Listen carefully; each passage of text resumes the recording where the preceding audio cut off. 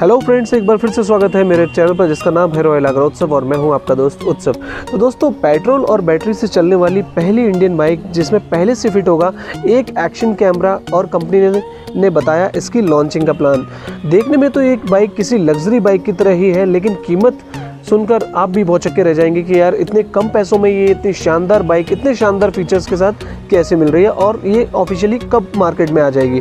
तो दोस्तों टीवीएस अपनी कॉन्सेप्ट बाइक टी वी को इस साल लॉन्च कर कर रही है। इस बाइक को फरवरी में हुए ऑटो एक्सपो 2018 में लॉन्च किया गया था। पहले इसे 2018 में ही लॉन्च करने की खबरें भी आई थी। ये क्रूज़र बाइक देखने में जितनी पावरफुल है, उतनी ज़्यादा हाईटेक भी है।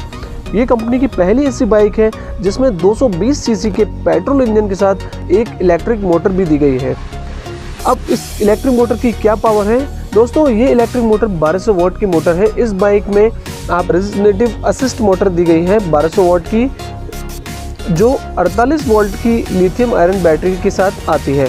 ये इतनी पावरफुल है कि 20 परसेंट तक ज़्यादा टॉप जनरेट करती है। हालाँकि इसका इंजन कितने पावर और कितना टॉक जनरेट करेगा, इस बारे में कंपनी ने अभी कुछ भी नहीं बताया है।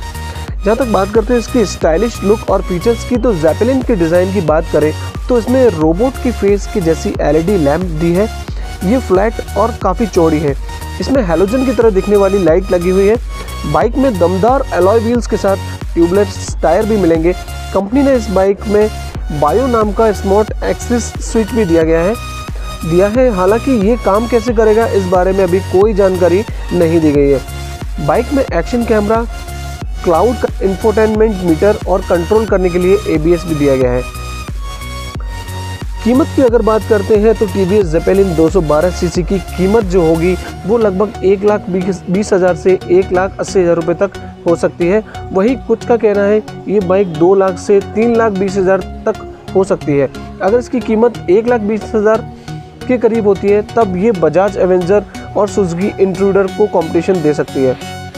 तो दोस्तों, कैसी लगी टी वी एस जेपेलिन और मैं आप लोगों को बता दूँ टी वी एस की पुरानी स्ट्रेटजी रहा है, जब भी कोई ऑटो एक्सपो होता है, वो अपनी किसी एक बाइक को लॉन्च करती है, और अग नेक्स्ट उसके अगले साल जो ऑटो एक्सपो होने वाला होता है, उसे ठीक एक या दो महीने पहले वो उसे मार्केट में उतार देती है। तो दोस्तों, अगर इस हिसाब से बात करें और जो पुराने सिनेरियो की बात करें, जो अभी तक होता है टीवीएस के साथ तो मेरा मानना ऐसा है कि ये टी वी जो है, वो इस साल ऑटो एक्सपो जो कि फरवरी में होता है, उससे ठीक पहले, यानी कि आपको जनवरी के थर्ड वीक या फोर्थ वीक में ये बाइक शायद मार्केट में देखने को मिल जाए और शायद इसकी ऑफिशियल बुकिंग भी शुरू हो जाए। दोस्तों, पूरा वीडियो देखने के लिए दिल से शुक्रिया। चैनल पर नए हैं तो सब्सक्राइब करके बेल आइकन को ज़रूर दबा दीजिए और वीडियो पसंद आया तो इसे लाइक, शेयर और सब्सक्राइब ज़रूर कर दीजिए। वीडियो पूरा देखने के लिए दिल से धन्यवाद। मिलते हैं अगले वीडियो में। तब तक के लिए जय हिंद, जय भारत और वंदे मातरम।